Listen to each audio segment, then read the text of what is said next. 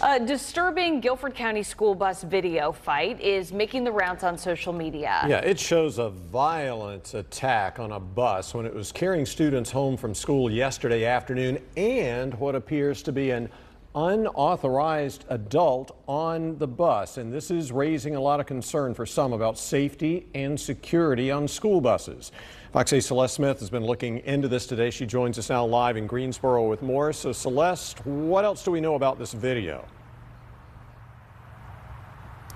Well, the video is nearly a minute long and shows two female students in a fight and also an adult woman encouraging one of the students fighting. We spoke to parents and grandparents at Kernodle Middle School who said that while they didn't want to be on camera, they do have students who ride the bus where this incident occurred. Fox 8 will not be showing video of the altercation, but in the video you can see what appears to be an adult woman wearing shorts, a tank top, and glasses. You hear her shouting expletives, encouraging one of the female students to beat the other student. Later, the woman is seen trying to separate the students, saying that's enough.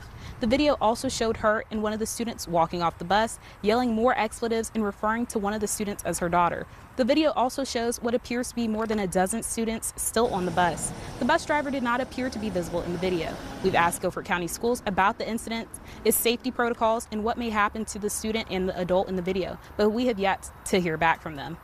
And ahead of school starting, the district did upgrade 600 cameras on its school buses to enhance security for the school year. Live in Greensboro, Celeste Smith, Fox 8 News. Back to you.